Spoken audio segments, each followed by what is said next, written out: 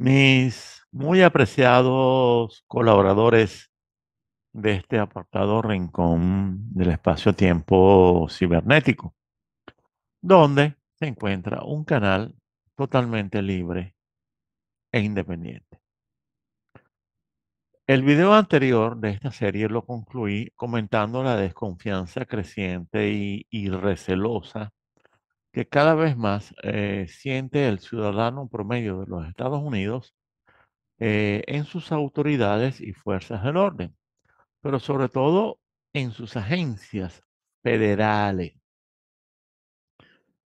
Y hoy vamos a empatar este tema eh, y extenderlo un poco en este nuevo video que será el conclusivo de esta serie, esta serie sobre la posible guerra civil en los Estados Unidos. Y yo digo que es el conclusivo por los momentos. En el futuro, y yo diría que hasta en el próximo futuro, nada impedirá que agregue, uno o más videos según la necesidad. Bueno, agarremos la guadaña y al grano. Tomen en cuenta que ha ocurrido algo preocupante en los Estados Unidos y es que se ha perdido mucha confianza popular en las Fuerzas Armadas como institución ejemplar al servicio del Estado y no de los políticos y mucho menos de las, de las agendas woke. Por lo tanto, se podría deducir que la percepción del complejo industrial militar como el verdadero poder que, el verdadero poder que domina a la política y ha dañado al sistema democrático, ya no es, señores, eso ya no es una conspiranoia, no es obra de conspiracionistas, sino que se trata de una opinión cada vez más compartida por muchos americanos que hace décadas perdieron su calidad de vida y ven cómo en el futuro esta podría empeorar aún más. Por eso las reacciones a las propuestas sobre gun control, o sea, control de armas personales. Basta ver cada vez que se hacen propuestas sobre esta ley eh, y, y basta ver las reacciones que se vuelven cada vez más fuertes y opuestas de lado y lado.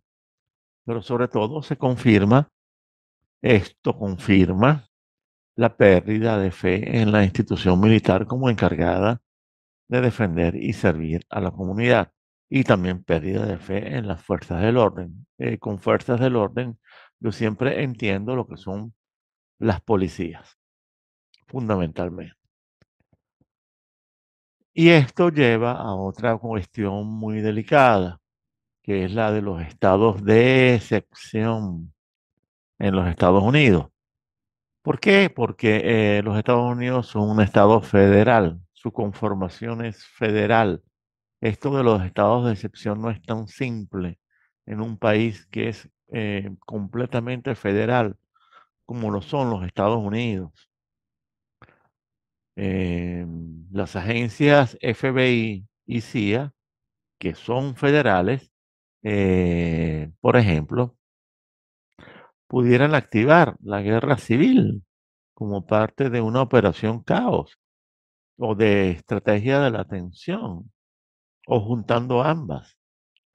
Todo esto para provocar alteraciones que lleven a estados excepcionales motivados, entre otras cosas, por asesinatos o atentados de orden excepcional. Esa es una posibilidad.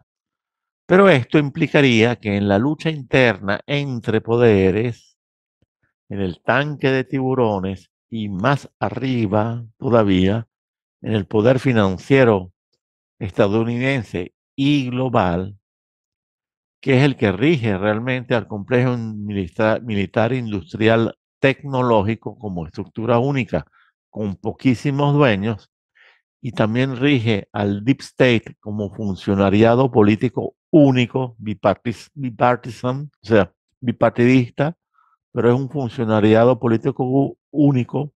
Eso significaría que allí arriba, eh, por fin, aunque no por fin, se ha desatado una lucha a muerte.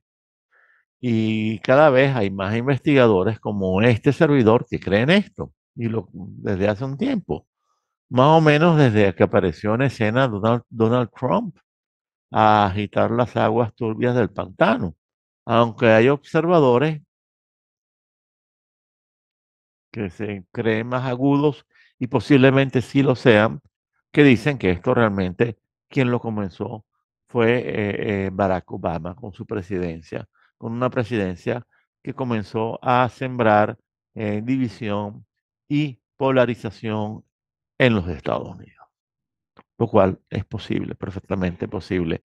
Pero desde luego, desde que apareció en escena Donald Trump, estos señores, la agitación se volvió máxima y todos la vivimos. Ya llevamos años, varios años viviéndola. Y luchas, luchas en el poder como esta siempre las hay, pero casi nunca son a muerte. Esto es lo importante. Eh, o mueren tiburones pequeños, como Jeffrey Epstein, un pequeño tiburón, que nunca supo que desde el principio había sido escogido como personaje desechable, o a lo mejor no había sido escogido como personaje desechable, pero sí se convirtió en desechable a partir del momento en el cual las, las élites de muy arriba se dieron cuenta de que el personaje podría resultar eh, peligroso, o sea, podría en determinado momento abrir la boca. Entonces, la operación eh, fue tal cual la que ocurrió. Y, y, se trata de algo tan aburrido, señores. Lo que le hicieron a Jeffrey Epstein es algo tan aburrido, es algo que tantas veces se ha hecho. Y además para un italiano como yo es casi vomitivo de lo aburrido que es, porque casi siempre es lo mismo, ¿no? O sea, el, la simulación de un suicidio, especialmente la simulación de un suicidio dentro de la propia celda en la cárcel, ¿no? en donde nadie se da cuenta, nadie ve nada, hay, hay todo un sistema de videos chequeándolo todo, pero resulta ser que al final el, el sistema falló o, o, por alguna razón no hay video disponible de eso. Bueno, bueno. Hasta en eso se han vuelto aburridos, hasta en eso se uno ve la, que se han vuelto estúpidos, cada vez más estúpidos y cada vez menos creativos. Es verdad. Pero bueno, volvemos al tema. En general, las luchas a muerte entre poderes, entre poderes realmente poderosos, en general, estas luchas a muerte son escasas. ¿Por qué? Porque casi siempre se logra alguna negociación. Pero con el sistema tal como lo tenemos en este momento, al borde del colapso y con el iceberg a la vista, alguien en el Titanic podría asomarse a cubierta y notar que escasean los botes salvavidas. Y entonces de nada valdría tener mucho dinero o mucha fama si no consigues un bote salvavidas. Y entonces o comien, eh, comienzas a eliminar a los que te parece que sobran que es un método que siempre trae de paso más de un beneficio. Y esto está ocurriendo, señores. Y una vez más les digo, no soy el único que está percibiendo esto. Desde luego, los medios generalmente no entrevistan a las personas que piensan de esta manera. O sea, olvídense de eso. Nunca van a encontrar en los medios de masa una entrevista a alguien que sabe estas cosas y las describe tal como yo se las estoy describiendo en este momento. Olvídense de eso. En los medios de masa no van a encontrar eso. En las redes sociales encontrarán alguno que otro canal. ¿Verdad? Lamentablemente, eh, muchos de esos canales están contaminados por la conspiparanoia o por el conspiracionismo más estúpido y por lo tanto eh, esa operación surtió efecto. Entonces son canales de poca credibilidad. Yo trato en lo posible de mantener la credibilidad del mío, estudiando mucho, estudiando realmente mucho antes de presentar un video. Bueno, volvemos al tema. Y el tema es que a lo mejor la convicción de perder por parte de alguno de estos sistemas de poder o grupos de poder, a lo mejor eh, la convicción de perder eh, se ha apoderado de uno de estos bandos, porque no existe un bando único, salvo en el, en, en el penthouse del poder, que en realidad es el sótano del poder, porque se trata de un poder, de un poder eh, eh, prometeico, eh, luciferino, por lo tanto es el sótano del poder. Es una pirámide al revés, ¿no? En donde lo más, lo más alto y más poderoso es quien está más abajo, ¿no? A diferencia del, del bien, en donde quien está más arriba es el mejor, es el más bueno, el mejor, hasta llegar a, al nivel de los dioses, de la divinidad. Bueno, volviendo. Es, es muy posible que la convicción de perder se haya apoderado de uno de estos bandos y como no existe un bando único y casi siempre hay varios bandos compitiendo, eh, y eso es bueno que sea así, es bueno que compitan entre sí. Y esto se hace así porque es bueno que siempre gane el más fuerte y el más despiadado, porque todo el sistema es maltusiano darwinista. ¿Y por qué es maltusiano darwinista? Porque es un sistema liberal. Señores, esto es el liberalismo. El liberalismo es neomaltusianismo y darwinismo social, ni más ni menos. Le puedes agregar otras cosas para perfumarlo un poquito, pero ese es el sistema liberal. Y el sistema liberal siempre necesita tiburones en el tope de sus condiciones. Los más grandes, fuertes y voraces. Esto, es lo que ha pasado desde el mismo principio del, siglo, en el siglo XIX y sigue pasando en nuestras caras todos los días. Y esta selección natural es la que ha permitido la concentración de riqueza en cada vez menos manos. Como siempre les digo, la acumulación de riqueza, la creación de riqueza no tiene nada de malo. Yo estoy de acuerdo con eso. Con lo que no estoy de acuerdo es con el cáncer, con el cáncer de eso, que es que esa acumulación de riqueza genera a su vez una concentración en cada vez menos, menos personas. Señores, me, me disculpan, pero los liberales no ven eso. No lo ven.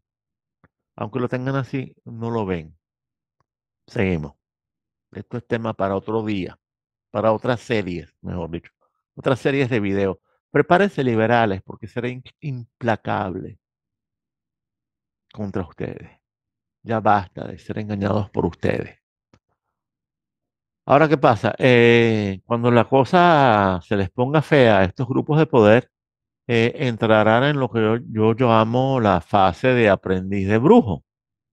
Y como la ibris, la pretensión sin límites, les dirá que ya son como dioses, o sea, que ya triunfaron, que ya triunfaron, entonces lo que no han entendido, los que no, o mejor dicho, los que no han entendido que al final perderán de todas maneras, porque el bien es invencible, entonces intentarán salvarse como sea o aprovecharán la oportunidad para destruir al otro. Acuérdense que el, ellos son oportunistas por naturaleza.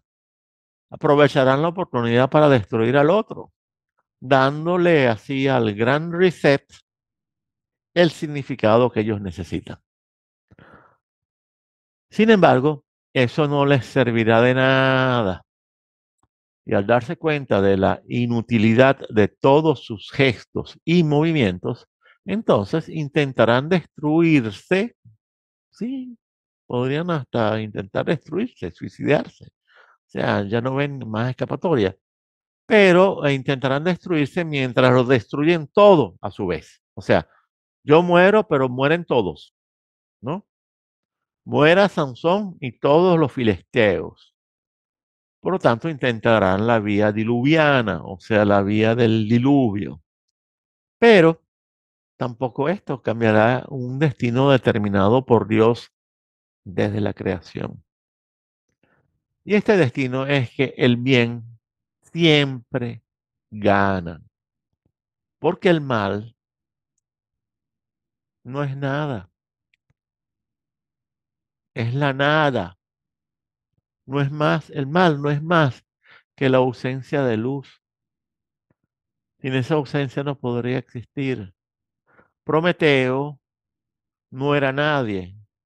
Solo, solo la luz que portaba era lo que importaba. Desde luego, en el eh, Prometeo transformado en su alter ego, Lucifer, eh, tiene poderes, eh, al ser un ángel, tiene poderes angelicales, es poderoso, pero lo importante era la luz que portaba, no él, porque él cayó, él cayó y al caer se acabó. Pero bueno, Dios nos ha dado, Dios, mejor dicho, Jesucristo nos dio dos mil años para que entendiéramos todo esto. Seguimos. Por eso, estas agencias de seguridad e inteligencia en los Estados Unidos, como lo son el FBI, la CIA y las otras, porque son 18 las agencias, lo cual es ya de por sí te da una idea, de, o sea, un estado, un estado como los Estados Unidos que tiene 18 agencias federales de seguridad e inteligencia. Señores, ese no es un estado totalitario. Realmente, o sea, un estado que tiene 18 agencias federales de seguridad e inteligencia es realmente un estado democrático. ¿Ustedes están seguros de eso? ¿No será más bien lo contrario? Lo pongo, lo dejo así como pregunta. Yo le responderé, pero más adelante, en otra serie, ¿no? Eh, pero no por nada estas agencias de seguridad e inteligencia eh, son tan incansables a la hora de sembrar rumores de guerra civil y secesión. A lo mejor hasta una serie o secuencia de falsas banderas están preparando o ya las tienen listas. Porque les recuerdo una vez más que aquí hay una pugna que va a caracterizar estos tiempos finales, en donde nadie le discute a su no es abajo, a su majestad satánica, sus exigencias. Pero sí hay mucha pelea por ser el grupo más cercano a esa profundidad, a ese abismo de profundidad, que es el grupo más abyecto y más cercano con aquellos que una vez, una vez fueron pateados en el templo, por el mismo Cristo. Son los mismos. Y hay grupos que pretenden controlar el proceso escatológico como tal, en todo su desarrollo mesiánico.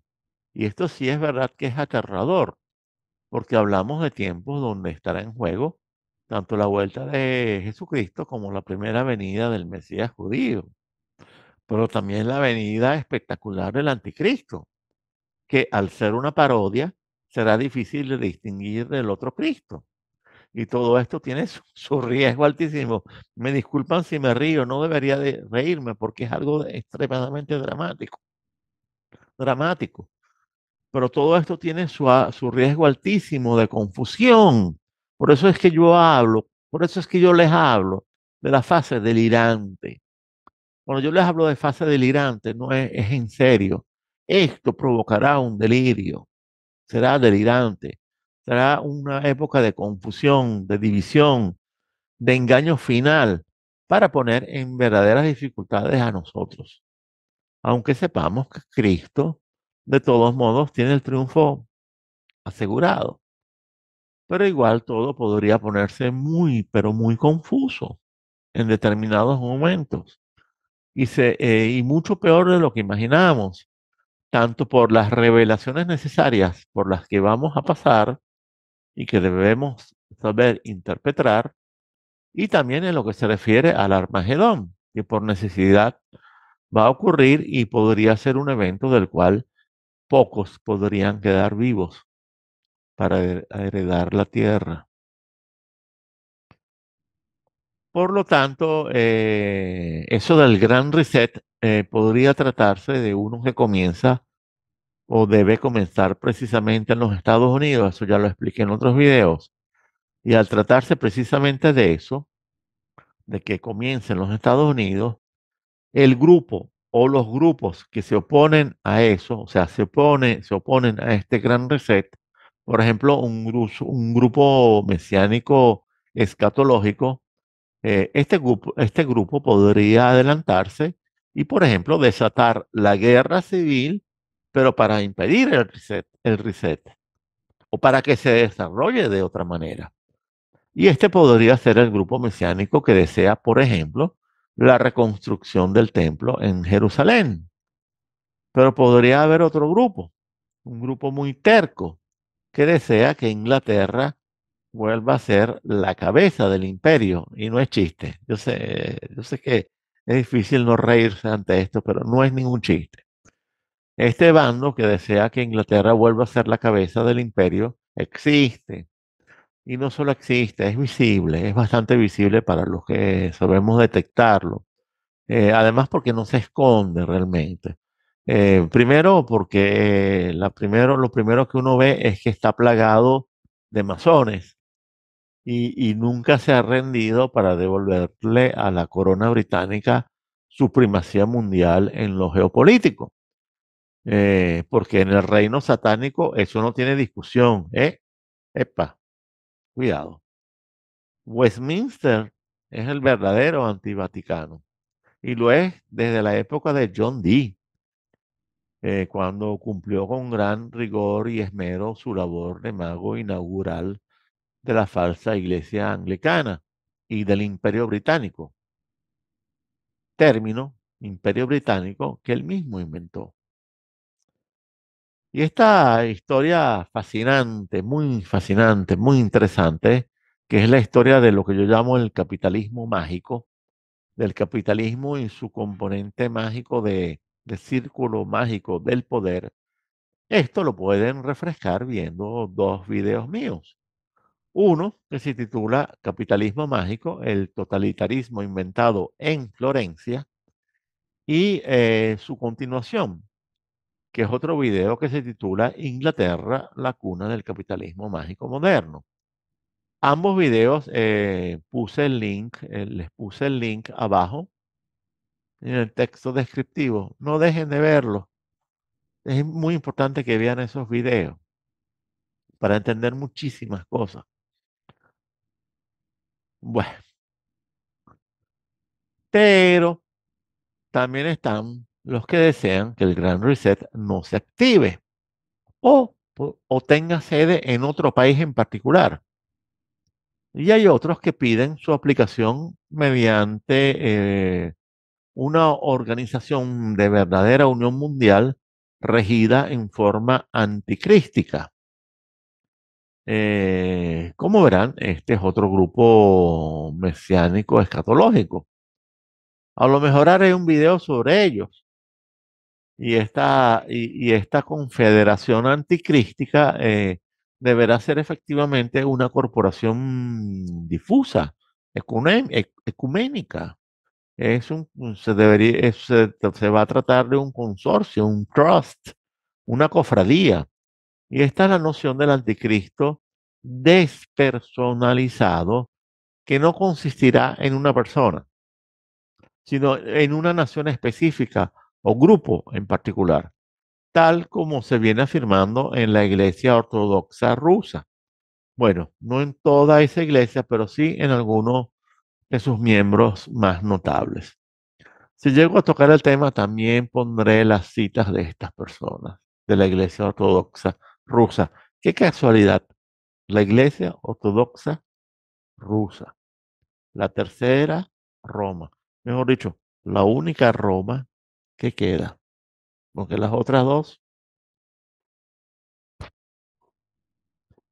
Bueno, y la primera, la, Roma, esa con el Papa Lumpen, está más que despachada. Esa sí ya está, esa sí fue, ya se encuentra en un albañal, en una cloaca. La segunda, Bizancio, se encuentra en manos de Erdogan, Mr. Drupi, mejor ni hablemos. Eh, vamos a seguir, vamos a seguir. Eh, señores, además de todas estas maniobras de las cuales uno a duras penas logra especular a pesar del gran esfuerzo investigativo, en los Estados Unidos se está haciendo de todo, pero realmente de todo, para estimular un gran conflicto, un conflicto de masas, de polarización, de polarización dura, para estimular grandes dominios del odio y de la venganza. Aquí ya ni se trata de demonizar, porque el otro ya ha sido mutado, eh, ya ha sido convertido en un demonio sin remedio, sin vuelta atrás. O sea, por ejemplo, el hombre blanco. O sea, no tiene, es un demonio para ciertos grupos. Por lo tanto, la confrontación podría adquirir un tinte de o tú o yo. Si yo no te cancelo, tú lo harás conmigo. O lo seguirás haciendo como siempre. Y al parecer por ningún lado surge un elemento de acuerdo nacional, de conciliación nacional, algo que vuelva a unir a todos, eh, a no ser que ocurra algo verdaderamente excepcional. Y ni toco el tema en este momento. Y, pero, pero sobre la posibilidad de que aparezca algún evento de tipo excepcional, pueden apostar por eso. Sí va a suceder. Aunque sea real o simulado. Y de todos estos eventos, al que más le teme este humilde servidor, y no solo él, sería una gran tormenta de caos global. Un corte en el suministro eléctrico sería el máximo factor, lo peor de todo. Pero, pero un corte en el suministro informático sería más que suficiente y crearía un pánico esquizofrénico en muchos sectores claves de los servicios y la industria. Y si este corte se debe a un ciberataque destructivo, difícil de reparar, pues que Dios nos agarre confesados. Porque he conocido a más de un especialista que me asegura que por deber profesional uno, uno debe desechar esto es, uno no puede desechar esto como una fantasía. E interrupciones prolongadas de la Internet eh, deben ser consideradas como perfectamente posibles. Y además eh, podrían dañar un altísimo porcentaje, de hardware, o sea, de equipos informáticos en el mundo, tanto los institucionales como los comerciales, como los industriales y también los particulares. Así como se los digo, eso sí es realmente un, un armagedón cibernético, ¿eh? Pero el arsenal del mundo libre, listo para ser usado, oígalo bien, listo para ser usado, comprende otras maravillas. Por ejemplo, nuevas pandemonias. Ya las nuevas pandemonias estén, están listas. No se engañen o podrían ser aerosoles químicos o solubles en agua, o podrían ser plagas en los cultivos, o podrían ser ojivas nucleares tácticas, que están de moda. ¿verdad? A propósito, ¿qué significa que son tácticas? Pues solo significa que para el periodista de turno será más fácil convencernos de que no producen tanta aniquilación, de que no son tan malas como las otras, como las estratégicas. Más nada, esa es la diferencia. Pero un arma nuclear táctica es un arma de destrucción masiva, créanmelo. Eh, hace unos meses hubo un problema con la red Twitter. Y en aquel entonces dije que los mandaron a ensayar porque Twitter no decide nada, mucho menos el fantoche ese que se buscaron para ponerlo como dueño. Y lo mismo pasa con todas las redes sociales, las cuales no son otra cosa que inventos de las organizaciones de seguridad e inteligencia del imperio y su complejo industrial militar tecnológico, especialmente el californiano, y su razón de ser es para reforzar la Matrix sobre la población, siendo la Matrix mm, mm, la expresión física del círculo mágico del poder que fue creado hace siglos por el capitalismo mágico y en especial por sus finanzas mágicas. Y volviendo a lo de las redes sociales, em, señores, redes sociales, todas son simulacros. Todas fueron creadas por el poder, para luego ser asignadas a unos supuestos jóvenes estrellas que son todos unos genios, para seguir promocionando aquello del American Dream, o sea, del ciudadano común que desde un garaje eh, se convierte en magnate. Es muy obvio y es ridículo que uno caiga en eso y siga cayendo en eso y no, y no sea capaz de darse cuenta, ¿no? Eh, pero bien, eh, esta tormenta que vamos a tener, que puede ser en la internet o puede ser una pandemonia, peor que la anterior, o, o puede ser la dispersión en el aire o en el agua de algún agente químico que nos termine de anular más de lo que ya estamos, ¿no? O simple, o simple llanamente podría tratarse de una operación o operaciones de falsa bandera, en donde armamento nuclear táctico es lanzado contra algún país desechable para luego acusar a Moscú. Y digo Moscú porque estos señores es lo que están esperando en Rusia y Bielorrusia. Eso es lo que están esperando ellos, que suceda de un momento a otro. No se trata de una contraofensiva cuyo potencial es escaso e incompleto, aunque se sume la OTAN, aunque se sumen los Estados Unidos, y que solo seguirá sirviendo como, solo seguiría sirviendo como exprimidora oceánica de sangre joven para ese ritual de ofrenda de sangre joven que ha sido la, guerra de Ucrania y, y también la de Gaza, que son rituales de ofrenda de sangre joven que exigen los arcontes del ocaso, los arcontes de Occidente, que son los arcontes del ocaso, en las alturas del poder. ¿Y qué estarán esperando los chinos? Pues más o menos lo mismo. Y esta tormenta de caos, sea como sea, podría ponerlos en dificultad y sobre todo irlos cercando, porque el juego que el imperio hace con China consiste fundamentalmente en irla acercando cada vez más, estrechando su, su radio y su capacidad de acción hasta comenzar a afectar seriamente la fluidez de sus engranajes, económicos, hasta obligarla a tomar una decisión que no podría ser contemporizadora ni pacífica, como les gusta a los chinos.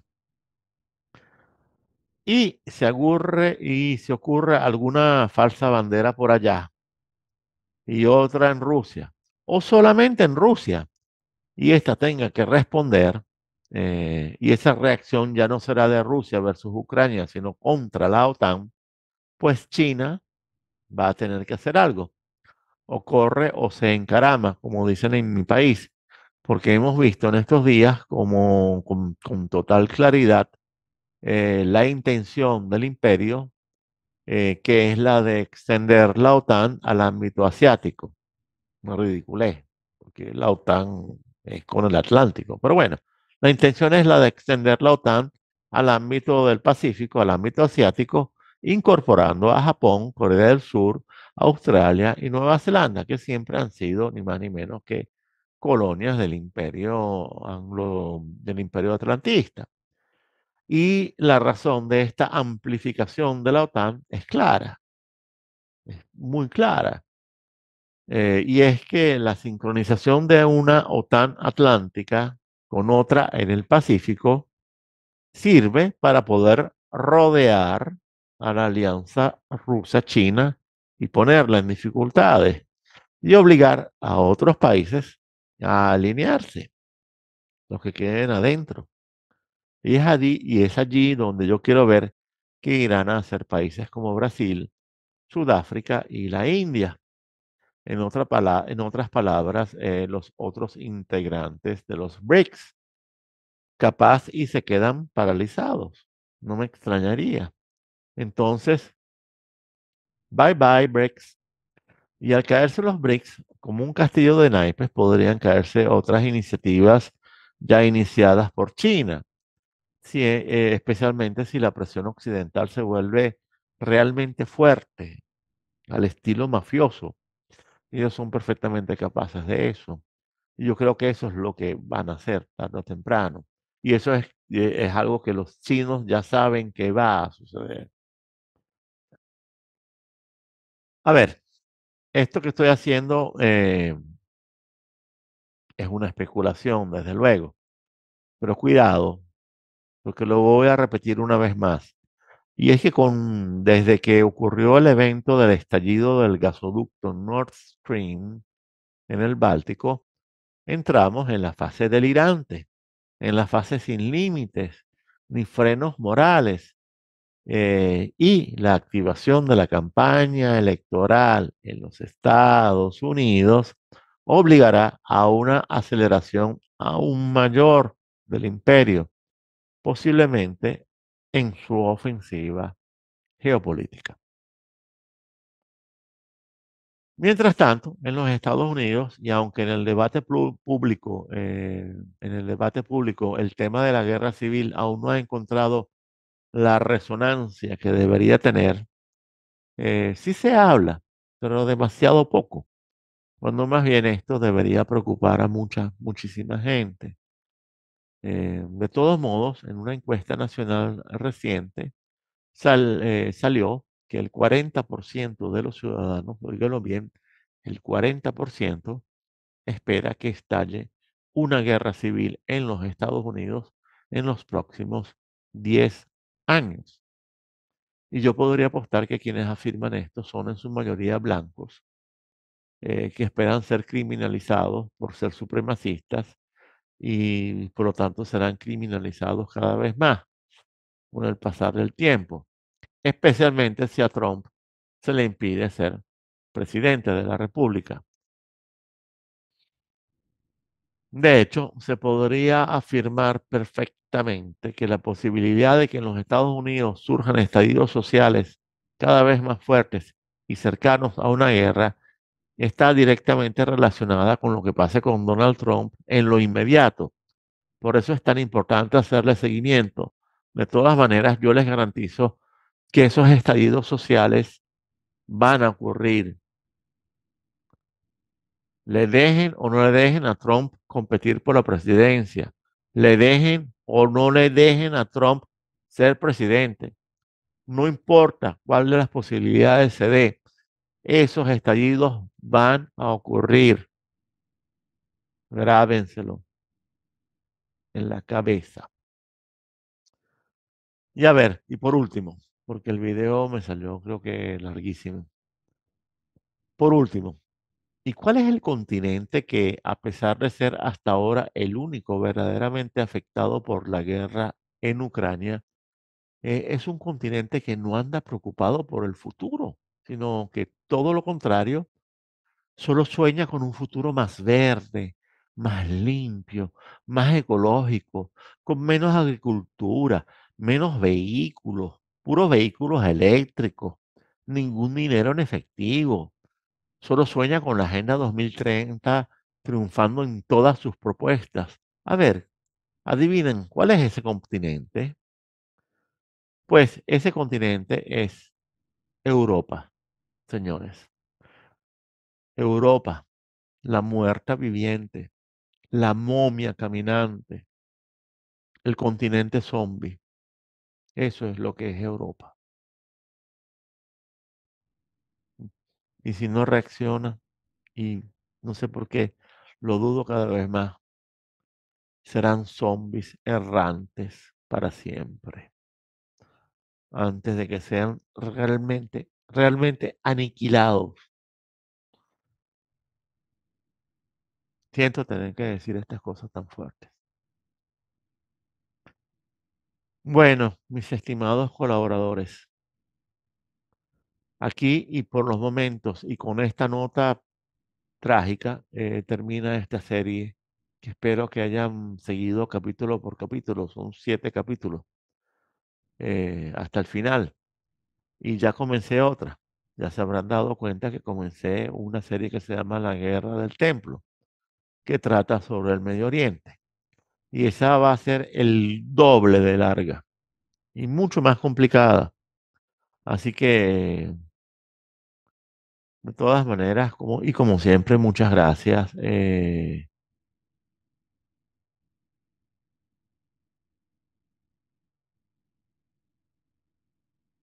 y que Dios los bendiga.